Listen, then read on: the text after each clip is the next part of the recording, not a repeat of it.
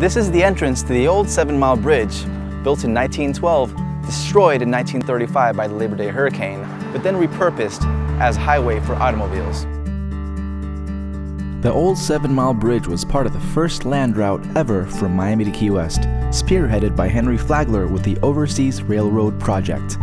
Completed in 1912, it was originally given the name Knights Key, Pigeon Key, and Moser Channel Pacet Channel Bridge, and it included a stop for the famous Pigeon Key. After two decades of service, the Labor Day hurricane of 1935, with 200 mile per hour winds and a 17 foot storm surge, caused vast damage to the overseas railway, eventually deeming the project a wash for Henry Flagler. Bankrupt, the Florida East Coast Railway sold the whole right of way to the government for one seventh of what it cost Flagler to build the railroad.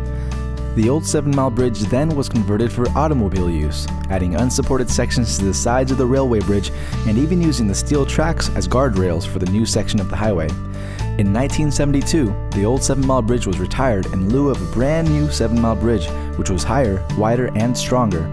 The old Seven Mile Bridge was mostly left unused save for a star appearance in the 1992 hit True Lies and several sections that were upkept, such as the path to Pigeon Key on the north side and a small fishing area and path on the south end. As the bridge continued to age and the unsupported sections began to sag, vehicular traffic stopped and eventually the entire Pigeon Key section of the bridge closed for restoration.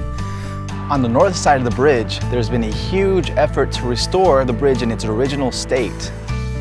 December 2013, local, county, and state governments came together to implement a $77 million restoration plan to save the old Seven Mile Bridge for future generations to enjoy. Buying a house in the Florida Keys is not out of reach for regular working people like us. We have access to listings starting at $250,000 for sensible condos, and we also have our featured listing, which is a 1,500 square foot home for under $450,000. So don't be a stranger, give me a call, 305 600 7836, or send a message.